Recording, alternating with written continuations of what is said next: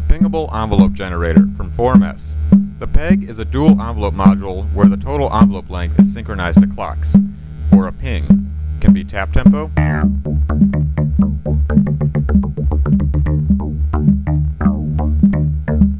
or external clock.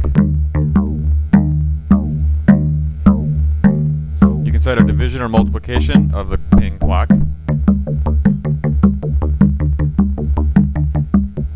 Divide by 8 to times 8.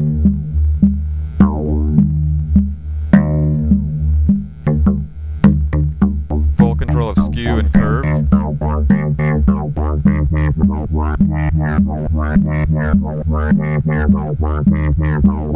center of the curve, we have symmetrical curves from expo rise, expo fall to log rise, log fall. At the streams, we have asymmetrical.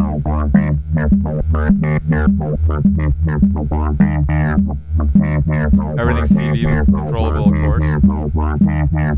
Let's control the division amounts.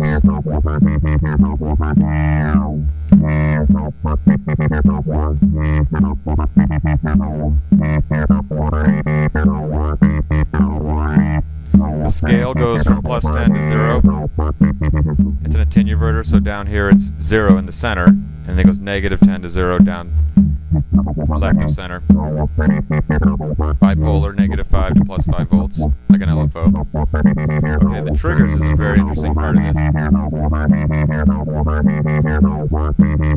So right now I have it cycling because the cycle button is on. I can stop that.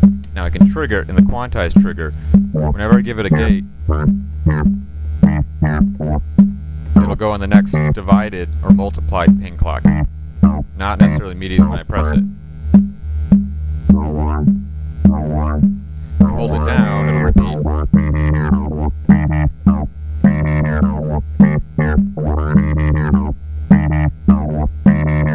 Asynchronous trigger is the opposite. As soon as you press it, it goes and triggers the envelope. You hold it down, it does an ASR jack is toggle jack. It toggles the, the cycle buttons. When I give a gate, like that one goes off, that one goes on. It's useful with the OR jack, which is a mix of both envelopes.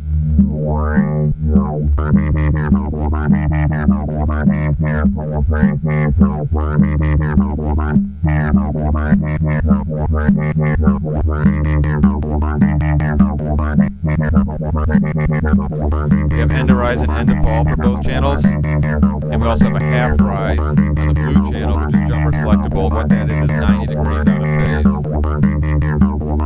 You can see that. They overlap by 50% there. Very useful quadrature effects I'll show in another video.